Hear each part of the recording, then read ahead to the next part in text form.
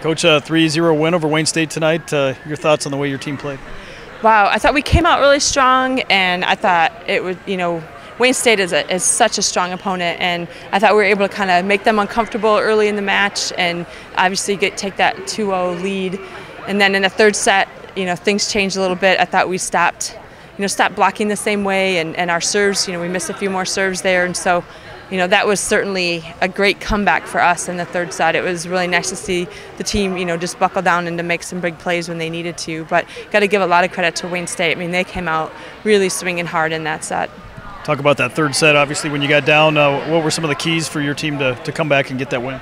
Um, I think we had to get back to what we were trying to do. You know, we, we certainly made a few, er- you know, just a couple errors that kind of let them in. Um, they were blocking uh, much stronger in that set, so I think we had to make a couple changes with how we were distributing the ball offensively.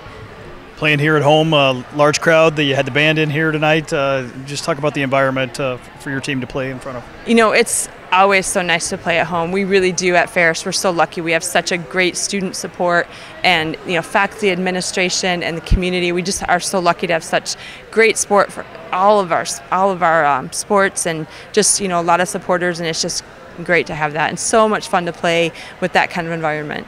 Now you have to turn the page quickly. Ashland tomorrow, another tough opponent from the GLIAC South. Yeah, Ashland is uh, first in the South right now, and they only have one really tight loss. And you know, it's it's definitely going to be a, a very good match. They have a lot of offense coming at you.